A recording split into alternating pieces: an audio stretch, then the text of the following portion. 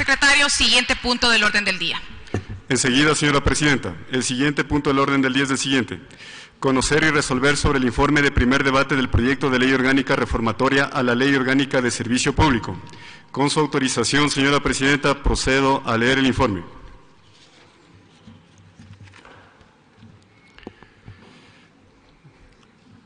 Quito, 26 de septiembre de 2018. Oficio 1238 LDA AN 18. Señora Elizabeth Cabezas Guerrero, presidente de la Asamblea Nacional, presente en su despacho. Con un cordial saludo me dirijo a usted y a la vez me permito manifestar que de conformidad a lo dispuesto en el artículo 60 de la Ley Orgánica de la Función Legislativa, adjunto el presente el informe para primer debate del proyecto de Ley Orgánica Reformatoria a la Ley Orgánica de Servicio Público, consecuencia de la unificación del proyecto de reforma a la Ley Orgánica de Servicio Público para simplificar el proceso de cumplimiento de la consulta popular efectuada el 19 de febrero de 2017 calificado mediante resolución CAL 2017-2019-331 de 7 de mayo de 2018 y el proyecto de ley orgánica reformatoria de la Ley Orgánica de Servicio Público, calificado mediante resolución CAL 2017-2019-431 de 26 de julio de 2018, a fin de que se continúe con el tratamiento previsto en la Constitución y la ley, lo que me permito comunicar para los fines pertinentes atentamente, asambleísta Liliana Durán. 1. Objeto del informe. El presente informe recoge el análisis y unificación de los proyectos de reforma a la Ley Orgánica de Servicio Público para simplificar el proceso de cumplimiento de la consulta popular efectuada el 19 de febrero de 2017 y de la Ley Orgánica Reformatoria a la Ley Orgánica de Servicio Público presentados por la asambleísta Norma Vallejo Jaramillo y el asambleísta Byron Valle Pinargote respectivamente, así como los argumentos expuestos y la resolución adoptada por la Comisión Especializada Permanente de los Derechos de los Trabajadores y la Seguridad Social para poner a consideración del Pleno de la Asamblea Nacional para su discusión en primer debate. Dos, antecedentes. La asambleísta Norma Vallejo Jaramillo, mediante oficio número NBJAN 2018-0178 de 13 de marzo de 2018, ingresado en esta Asamblea Nacional con trámite 320828, presenta el proyecto de reforma a la Ley Orgánica de Servicio Público para simplificar el proceso de cumplimiento de la consulta popular efectuada el 19 de febrero de 2017 el asambleísta Byron Valle Pinargote, mediante oficio número 45 BBP AN 2018 de 3 de julio de 2018, ingresado a esta Asamblea Nacional con trámite número 333083, presenta el proyecto de ley orgánica reformatoria de la Ley Orgánica de Servicio Público.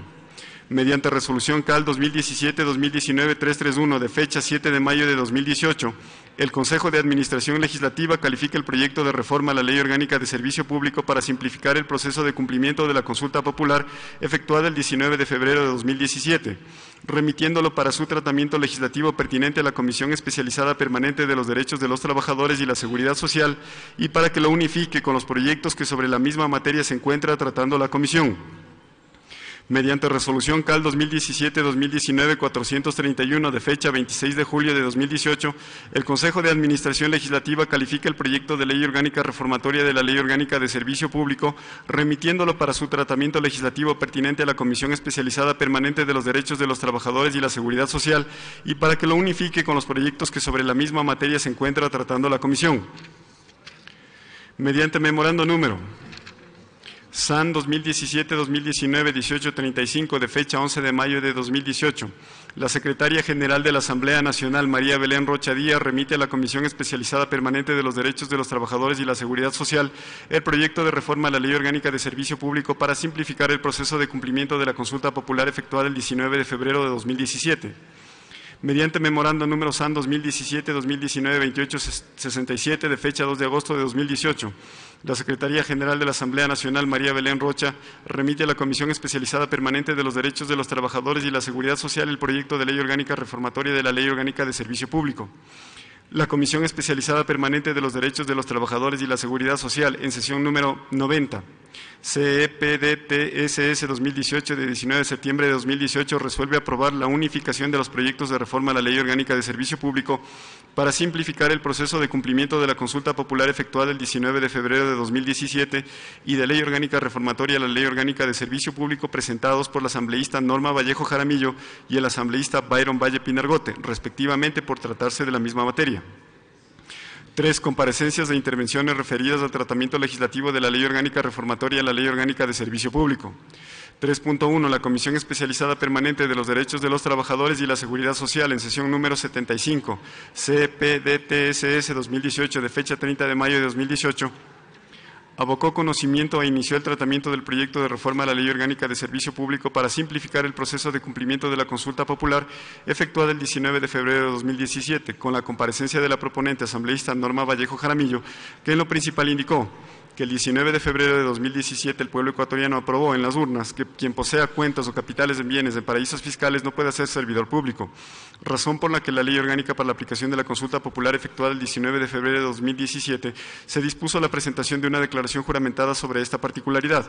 Lamentablemente esto significó un vía crucis para los servidores públicos quienes tuvieron que incurrir en gastos en las notarías del país y distraer tiempo de sus labores para realizar el trámite respectivo.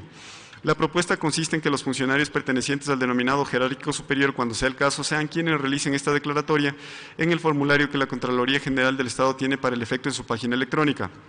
En la misma sesión, el asambleísta Roberto Gómez, integrante de la Comisión Especializada Permanente de los Derechos de los Trabajadores y la Seguridad Social, manifestó en lo principal, en relación a lo expuesto por el asambleísta proponente, que ser candidato a un cargo de elección popular no es lo mismo que ser en efecto un funcionario que desempeña un cargo público, puesto que la consulta popular se refiere a este último caso, y que sería mejor que todos los servidores públicos, sin excepción, hicieran dicha declaración, pero en el formulario de la Contraloría General del Estado. En esta sesión se contó con la presencia de la señora Rosa Elena Guerrero en calidad de asambleísta por un día, quien dijo, compañera presidenta, le agradecemos porque usted, desde que ha estado en esta comisión, ha dado la importancia de dar la palabra y la intervención a las organizaciones de los trabajadores y de la ciudadanía. Yo estoy de acuerdo con el razonamiento del asambleísta Roberto Gómez porque es así, ese es el espíritu de quienes han participado para ser asambleístas. Es necesario hacer esto para evitar los problemas porque hay muchos asambleístas que solo tienen una casa y cuando salen tienen tres o cuatro casas y no solo los asambleístas, sino los ministros y los gerentes. Yo estoy de acuerdo con el razonamiento del asambleísta, eso es, gracias. 3.2. La Comisión Especializada Permanente de los Derechos de los Trabajadores y la Seguridad Social en sesión número 81 CEP-DTSS 2018, de fecha 1 de agosto de 2018, continuó con el tratamiento legislativo pertinente del proyecto de reforma a la Ley Orgánica de Servicio Público para simplificar el proceso de cumplimiento de la consulta popular, efectuada el 19 de febrero de 2017 con la comparecencia de los siguientes ciudadanos con la finalidad de que realicen sus pronunciamientos y criterios sobre el mencionado proyecto de ley. Síntesis de comparecencias ciudadanas. Sesión número 81 CPDT-SS 2018 de fecha 1 de agosto de 2018. Se adjunta un cuadro con la primera columna que dice Ciudadano, la segunda intervención. Ciudadano, señor José Villavicencio, representante del Frente Unitario de Trabajadores. El pueblo ecuatoriano votó a favor de la consulta popular y sobre todo en el tema en el que se controla el tema de los paraísos fiscales. Segundo, frente a ello genera una mala interpretación un mal entendido de casi la mayoría de instituciones del Estado. Digo porque esto luego de eso se estableció un articulado, un acuerdo ministerial que todos los trabajadores del sector público deberían hacer nuevamente la declaración juramentada cuando eso no tenía que haberse dado. Sin embargo, se dio con el punto adicional de que si no lo hacían automáticamente quedaban desvinculados de su trabajo. Esa era la amenaza de casi todas las instituciones y los trabajadores preocupados lo hicieron, la mayoría, no todos, pero la mayoría. Después salieron las declaraciones, los documentos. La pregunta es, ¿devolvieron al trabajador los recursos? No, no se devolvió y se afectó. Esto pasó y por eso nos parece importante que se reforme y se aumente el literal G del artículo 5 de la LOCEP ese es el planteamiento que se está haciendo, pero nosotros nos preguntamos por qué el trabajador tiene que hacer una declaración juramentada y disculpen la expresión, nosotros decimos el trabajador que no tiene ni para pagar y que busca un empleo, le están planteando que haga una declaración juramentada y notariada. Eso no es correcto porque esos son recursos más allá que le van a pagar al notario una parte que le corresponde al Estado. Creemos que no es correcto y así nos parece que es lo correcto. Entonces, que las personas que son de elección popular o van a tener un cargo de elección popular y si lo hagan y también las personas de libre remoción como le establece la misma propuesta. Eso nos parece que se debe hacer, pero no el trabajador. Él debería ser una juramentación administrativa, si cabe el término, pero no notariado, porque en las condiciones que vive hoy el pueblo ecuatoriano le metemos más la mano al bolsillo, entonces a mí me parece que eso no es lo correcto. Me parece que la reforma del aumento en el artículo 5 de la LOCEP debe ir en ese marco conforme lo plasma la propuesta. Solo tengo una inquietud que me parece nos puede aquí ayudar a aclarar este tema, presentar al notario público la declaración patrimonial juramentada como dice aquí en el proyecto y entonces no sería ante el notario. Debería ser presentada ante la Contraloría. No sé si es que yo estoy interpretando mal y ahí sí me disculpan. A continuación se hacen constar las intervenciones del señor Washington Muñoz, representante de la Asociación de Trabajadores Administrativos con nombramiento permanente del Ministerio de Salud Pública, del señor Jaime Arciniega, representante de la Confederación Sindical del Ecuador CSE, que serán incorporadas en el acta conforme manda la norma. En la misma sesión expusieron sus criterios asambleístas integrantes de la Comisión Especializada Permanente de los Derechos de los Trabajadores y la Seguridad Social. A continuación se hace constar una síntesis de comparecencia de los asambleístas y se destaca que se realizó en la sesión 81 CPDT-SS 2018 de fecha 1 de agosto del 2018. Las personas intervinientes fueron el asambleísta Norma Vallejo, la asambleísta Karina Arteaga, el asambleísta Juan Cárdenas. El cuadro con los contenidos se incorporará en el acta respectiva. 3.3. La Comisión Especializada Permanente de los Derechos de los Trabajadores y la Seguridad Social, en sesión número 89, CPDTSS 2018, de fecha 19 de septiembre de 2018, abocó conocimiento e inició el tratamiento del proyecto de ley orgánica reformatoria de la Ley Orgánica de Servicio Público con la comparecencia del proponente asambleísta Byron Valle Pinargote, quien en lo principal manifestó la propuesta, que específicamente está basada en la consulta popular del 19 de febrero de 2017, en donde la mayoría de ecuatorianas y ecuatorianos votaron para que todas las personas que aspiran a ser servidores públicos de cualquier naturaleza, sea de elección popular o que aspiren a una carrera, realicen una declaración pública en que expresen no poseer bien o ningún recurso en paraísos fiscales. En la ley para la aplicación de dicha consulta se dispone que esta declaración pública sea juramentada a través de un notario y obliga a todos los servidores públicos que aspiran a desempeñar la función pública a realizar el respectivo trámite con el consiguiente desembolso económico. La propuesta es que dicha declaración sea realizada en los mismos formularios de la Contraloría General del Estado. Se trata de reformar el artículo 5, literal G, 4, que diría lo siguiente. Declaración de no encontrarse incurso en la prohibición constante en la Ley Orgánica para la aplicación de la consulta popular efectuada el 19 de febrero de 2017. Con esto es claro, no hay para qué estar especificando si es solamente para los que son elegidos por votación popular o si van a ocupar un alto cargo de jerárquico en la empresa, sino que también es para todos los que entran al servicio público. Con respecto a la exposición realizada por la asambleísta proponente, se relegaron la siguiente intervención por parte de los asambleístas integrantes de la comisión. Se adjunta un cuadro de síntesis de comparecencias de los asambleístas en donde se constan las, declaraciones de los asambleístas Juan Cárdenas, Karina Arteaga, asambleísta Piedad Ollague, asambleísta Byron Valle. 3.4. La Comisión Especializada Permanente de los Derechos de los Trabajadores y la Seguridad Social en sesión 090 CPDTSS 2018 de fecha 19 de septiembre de 2018 continuó con el tratamiento del proyecto de reforma a la Ley Orgánica de Servicio Público para simplificar el proceso de cumplimiento de la consulta popular efectuada el 19 de febrero de 2017 presentado por, el por la asambleísta Norma Vallejo, quien manifestó que, en acuerdo con el asambleísta Byron Valle, propone unificar los dos proyectos de ley en el sentido de reformar el artículo 5 de la Ley Orgánica de Servicio Público, literal G, 4, sobre la declaración para que incluya no encontrarse en concurso en la previsión constante en la Ley Orgánica de Servicio Público para la aplicación de la consulta popular efectuada el 19 de febrero de 2017 y en la disposición transitoria se considera pertinente otorgar un plazo de 30 días a la Contraloría General del Estado para que emita el nuevo formulario. Se solicita se elabore el borrador del informe para primer debate. Las mociones realizadas por la asambleísta Norma Vallejo, se aprueban unánimemente por los integrantes de la Comisión Especializada Permanente de los Derechos de los Trabajadores y la Seguridad Social, disponiendo la unificación de los proyectos de ley y la elaboración del informe para primer debate. Cuatro, análisis del proyecto de ley. 4.1 sobre la obligación de los servidores públicos de presentar declaración patrimonial jurada.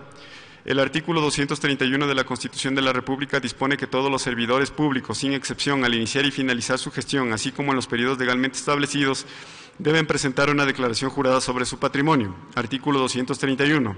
Las servidoras y servidores públicos, sin excepción, presentarán al iniciar y al finalizar su gestión y con la periodicidad que determine la ley, una declaración patrimonial jurada que incluirá activos y pasivos, así como la autorización para que, de ser necesario, se levante el sigilo de sus cuentas bancarias. Quienes incumplan este deber no podrán posesionarse en sus cargos. Los miembros de las Fuerzas Armadas y Policía Nacional harán una declaración patrimonial adicional de forma previa a la obtención de ascensos y a su retiro. La Contraloría General del Estado examinará y confrontará las declaraciones e investigará los casos en que se presume enriquecimiento ilícito. La falta de presentación de la declaración al término de las funciones o la inconsistencia no justificada entre las declaraciones hará presumir enriquecimiento ilícito. Cuando existan graves indicios de testaferrismo, la Contraloría podrá solicitar declaraciones similares a terceras personas vinculadas con quien ejerza o haya ejercido una función pública. En concordancia, el artículo 229 de la Constitución de la República señala que Serán servidoras o servidores públicos todas las personas que en cualquier forma o a cualquier título trabajen, presten servicios o ejerzan un cargo, función o dignidad dentro del sector público. Asimismo, el artículo 225 de la Constitución de la República determina que el sector público comprende 1. Los organismos y dependencias de las funciones ejecutiva, legislativa, judicial, electoral y de transparencia y control social. 2. Las entidades que integran el régimen autónomo descentralizado. 3 los organismos y entidades creados por la Constitución a la ley para el ejercicio de la potestad estatal, para la prestación de servicios públicos o para desarrollar actividades económicas asumidas por el Estado. Cuatro, las personas jurídicas creadas por acto normativo de los gobiernos autónomos descentralizados para la prestación de servicios públicos. Para el efecto, la Ley Orgánica de Servicio Público señala, artículo 5, requisitos para el ingreso. Para ingresar al servicio público se requiere G. Presentar la declaración patrimonial juramentada en la que se incluirá los siguientes dos puntos. 1. Autorización para levantar el sigilo de sus cuentas bancarias. 2. Declaración de no adeudar más de dos pensiones alimenticias. Y 3. Declaración de no encontrarse incurso en nepotismo, inhabilidades o prohibiciones previstas en la Constitución de la República y el ordenamiento jurídico vigente. 4. Declaración jurada ante notario pública de no encontrarse incurso en la prohibición constante en la Ley Orgánica para la aplicación de la consulta popular efectuada el 19 de febrero del 2017. En concordancia con la Ley para la presentación y control de declaraciones patrimoniales juradas, publicada en el suplemento del Registro Oficial 729 de 8 de abril de 2016 y vigente desde 1 de enero de 2017, en sus artículos 3 y 8 dispone que todos los servidores públicos están obligados a presentar la declaración patrimonial jurada y en caso de los servidores públicos de elección popular deberá la autoridad electoral elegir la constancia de presentación en la Contraloría General del Estado 4.2. Sobre la validez de la declaración jurada realizada por medios electrónicos y ante autoridad distinta al notario público. El artículo 205 del Código Orgánico General por Procesos, COGEP, publicado en el suplemento Registro Oficial 506 de 22 de mayo de 2015, establece que documento público es el autorizado con las solemnidades legales. Si es otorgado ante notario e incorporado en un protocolo o registro público, se llamará escritura pública.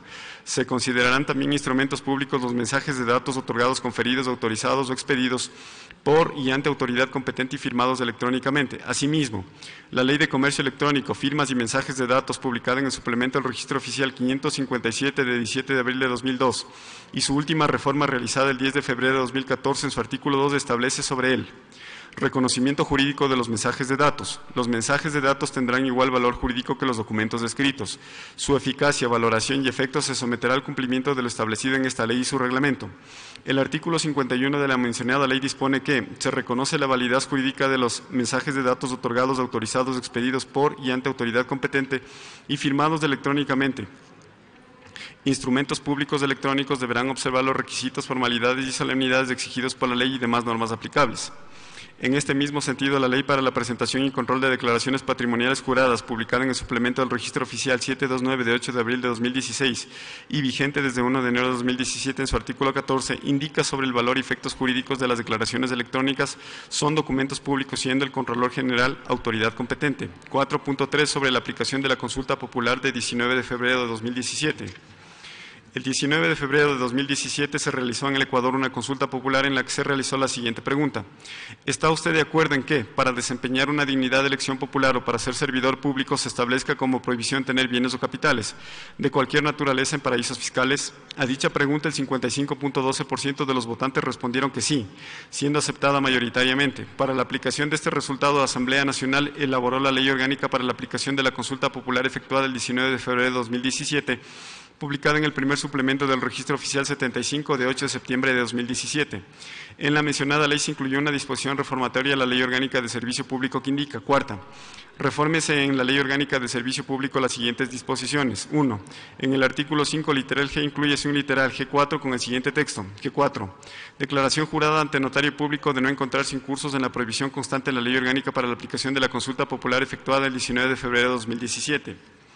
Con esta disposición se hizo una separación innecesaria de los contenidos de la declaración patrimonial jurada previstos en el artículo 5 literal G de la Ley Orgánica de Servicio Público, en el sentido de que la autorización para levantar el sigilo de sus cuentas bancarias, la declaración de no adeudar más de dos pensiones alimenticias y la declaración de no encontrarse en curso en nepotismo, inhabilidades o prohibiciones previstas en la Constitución de la República y el ordenamiento jurídico vigente, pueden realizarse por medios electrónicos, siendo autoridad competente el Contralor General del Estado, en tanto que el contenido relacionado a la consulta popular debe realizarse ante notario público.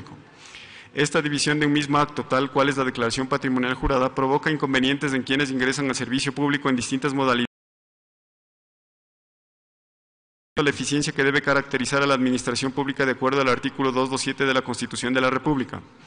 Por lo que, considerando los argumentos jurídicos expuestos en los numerales anteriores sobre la validez de las declaraciones electrónicas, cabe que este componente de la declaración patrimonial jurada se integre a los demás, pudiendo efectuarse por medios electrónicos con los que ya cuenta la Contraloría General del Estado. Cinco, recomendación. En base a los argumentos expuestos, la Comisión Especializada Permanente de los Derechos de los Trabajadores y la Seguridad Social de la Asamblea Nacional en uso de sus atribuciones constitucionales y legales pone en consideración del Pleno de la Asamblea Nacional el informe para primer debate del proyecto de ley orgánica reformatoria a la Ley Orgánica de Servicio Público. Número seis, asambleísta ponente. El ponente es el asambleísta Byron Valle Pinargote, miembro de la Comisión Especializada Permanente de los Derechos de los Trabajadores y la Seguridad Social. Firman el presente informe los siguientes asambleístas. Asambleísta Liliana Durán, asambleísta Juan Cárdenas, asambleísta Byron Valle, asambleísta Rina Campaín, asambleísta Cristina Reyes, asambleísta Roberto Gómez, asambleísta Samia Tacle, asambleísta Raúl Tello, asambleísta Norma Vallejo. Procedo a leer la certificación del secretario relator. En mi calidad de secretario relator de la Comisión Especializada Permanente de los Derechos de los Trabajadores y la Seguridad Social, certifico que el informe para primer debate del proyecto de ley orgánica reformatoria a la ley orgánica de servicio público, consecuencia de la unificación del proyecto de reforma a la ley orgánica de servicio público para simplificar el proceso de cumplimiento de la consulta popular, efectuada el 19 de febrero de 2017, calificado mediante resolución CAL 2017-2019-331 de 7 de mayo de 2018 y el proyecto de ley orgánica reformatoria de la ley orgánica de servicio público, calificada mediante resolución CAL 2017-2017-431 de 26 de julio de 2018 fue aprobado por unanimidad de las y los asambleístas presentes en la sesión de la Comisión número 91 de 26 de septiembre de 2018 con la siguiente votación. A favor, Liliana Durán, Norma Vallejo, Juan Cárdenas, Byron Valle, Rina Campaín, Cristina Reyes, Samia Tacle, Roberto Gómez, Raúl Tello, total nueve. En contra, total cero. Abstenciones cero, blanco cero. Asambleístas ausentes, Julio César Quiñones Ocampo, Karina Arteaga Muñoz, Alberto Arias. Hasta ahí el texto del informe, señora presidenta.